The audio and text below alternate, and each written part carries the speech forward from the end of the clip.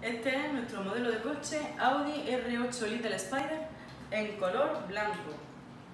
Este modelo es hasta 4 años y vamos a ver las características que tiene. Se abren las puertas, tiene la funda del asiento, que vemos que es acolchado.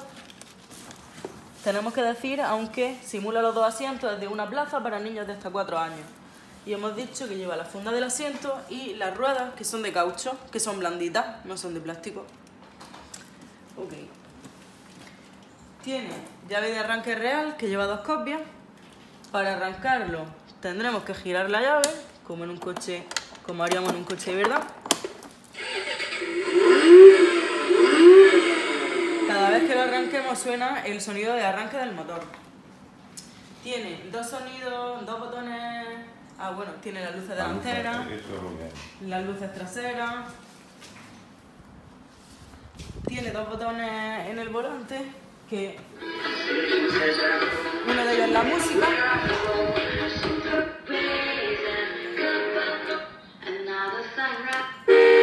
Tiene 6 o 7 canciones, 6 o 7 canciones pregrabadas. Tiene 6 o 7 canciones pregrabadas ya para que los niños vayan pasando y el sonido del claxon. Aparte, en, el lado izquierdo, vemos que aparte de la música que ya lleva, le podremos poner música externa también con un pendrive, con una tarjeta SD o con un cablecillo auxiliar que lo tenemos incluido. Introduciéndolo podremos ponerle música externa desde un móvil, desde un MP3 o desde cualquier dispositivo que tenga esta entrada. Desde aquí vamos a poder también cambiar la música hacia adelante, pasarla hacia atrás y manteniendo pulsado bajamos el volumen y en el otro, manteniendo pulsado, lo subiremos.